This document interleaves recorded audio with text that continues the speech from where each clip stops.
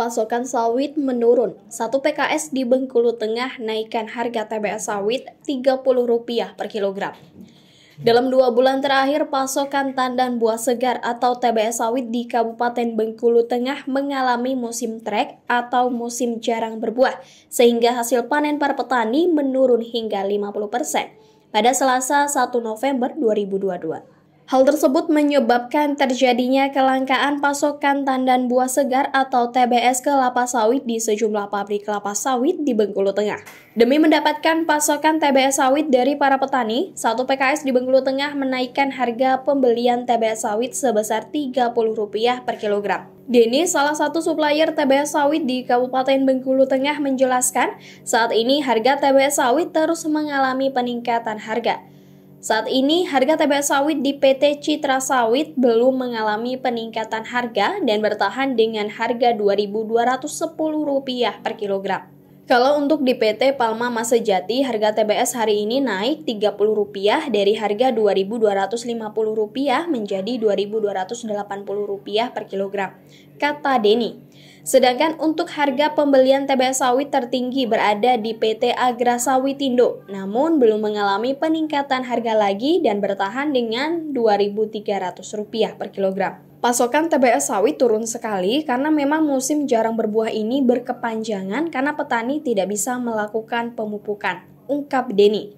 Terkait harga TBS sawit yang terus mengalami peningkatan, hal tersebut lantaran antar PKS saling berkompetisi memperebutkan pasokan TBS sawit dari petani. Tiga PKS yang ada ini tidak memiliki kebun sendiri, sehingga harus menaikkan harga agar bisa mendapatkan pasokan TBS sawit.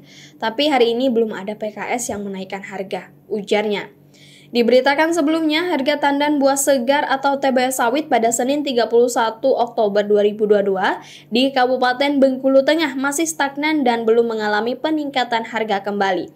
Harga TBS sawit di Bengkulu Tengah tertinggi masih bertahan dengan harga Rp2.300 per kilogram. Padahal dalam sepekan terakhir, harga TBS sawit justru meningkat hampir setiap hari lantaran pasokan TBS sawit menurun. Dari pantauan tribunbengkulu.com, pasokan TBS kelapa sawit di Kabupaten Bengkulu Tengah masih mengalami penurunan di sejumlah pabrik kelapa sawit. Terkait harga TBS yang terus mengalami peningkatan, hal tersebut lantaran antar PKS saling berkompetisi memperebutkan pasokan TBS sawit dari petani. Tiga PKS yang ada ini tidak memiliki kebun sendiri, sehingga harus menaikkan harga agar bisa mendapatkan pasokan TBS sawit. Tapi hari ini belum ada PKS yang menaikkan harga, ujar Denny. Saat ini harga TBS sawit di PT Citra Sawit belum mengalami peningkatan harga dan bertahan dengan harga Rp2.210 per kilogram. Kalau untuk di PT Palma Masa Jati, harga TBS sawit masih bertahan dengan harga Rp2.250 per kilogram, kata Denny. Sedangkan untuk harga pembelian TBS sawit tertinggi berada di PT Agra Sawitindo, namun belum mengalami peningkatan harga lagi dan bertahan dengan harga Rp2.300 per kilogram.